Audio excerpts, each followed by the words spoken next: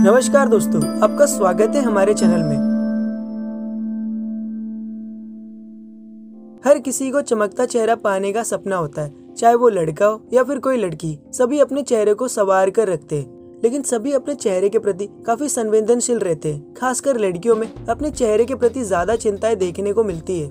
दिन भर अपने साथ चेहरे पर लगाने के लिए कई तरह के फेस पैक को अपने साथ लिए रखती हैं, लेकिन उन्हें आजमाना कभी भी आसान नहीं होता। चमकता चेहरा आपके व्यक्तित्व को निखार सकता है, लेकिन ज़रूरी नहीं कि हर किसी की यह इच्छा पूरी हो। आजकल बदलता मौसम, प्रदूषण और भागदौड़ भरी ज़िंदगी का असर चेहरे पर साफ़ नज़र आने लगता है। तनाव, चिंता, अनियमित खान पान और भागदौड़ भरी ज़िंदगी के चलते आजकल चेहरे की चमक और ग्लो मानो कहीं खो सी गई हो। हालाँकि शरीर के अन्य अंगों की तुलना में हर व्यक्ति अपने चेहरे की ज़्यादा देखभाल करता है, क्योंकि उसका चेहरा साफ़ और सुंदर दिखे। लेकिन इसके बाद भी हमारे चेहरे पर ना तो चमक दिखती है और ना ही कोई रौनक रहती है। अक्सर लोग अपने चेहरे पर झइया, दाग धब्बे या किसी भी प्रकार के अनचाहे निशान से परेशान रहते हैं, लेकिन इनसे छुटकारा पाना मुश्किल होता है। वैसे तो अपने चेहरे को गोरा बनाने के लिए और फेस पर निखार लाने के लिए कई तरह के नुस्खे अपनाए होंगे, लेकिन जो नुस्खा हम आज आपको बताने जा रहे हैं, एक बार उसे ज़रूर आजमा कर देखें।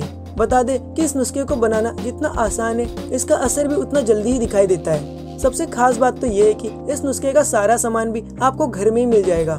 तो चलिए अब आपको बताते हैं कि आपको ये नुस्खा कैसे बनाना है। कुकुम्बर फेस पैक आप चाहे तो बाहर से भी खरीद सकते हैं, या फिर आप इससे अपने घर पर ही खीरे को सुखाकर उसका चूरण भी बना सकते हैं। इस उपाय के लिए आपको एक चम्मच कुकुम्बर फेस पैक लेना होगा और साथ में आधा चम्मच शहद ले लें और फिर आप कोई भी क्लिनजिंग मिल्क ले सकते हैं। ये आपको बाज़ार में आसानी से मिल सकता है। इसे आपको दो चम्मच लेना है। इसका पेस्ट बना ले और इसे आप रोज नहाने से करीब एक घंटे पहले अपने चेहरे पर लगा ले और 20 मिनट तक मसाज करते रहे। इससे आप सर्कुलर मोशन में मसाज कर सकते हैं। आप चाहे तो इसे चेहरे के साथ साथ गर्दन पर भी लगा सकते हैं। मसाज करने के बाद 10 मिनट तक इसे ऐसे ही छोड़ देना। और फिर जब ये सूख जाए तो इस पर गुलाब जल से हल्के छींटे मारने हैं। इसके बाद 20 मिनट तक आपको इसे ऐसे ही छोड़ देना है। और जब ये सूख जाए तो फिर तब जाकर आप इसे धो लें। आप एक ही बार में देखेंगे कि आपका चेहरा ग्लो करने लगा है। उम्मीद है आपको हमारा ये नुस्खा पसंद आया होगा।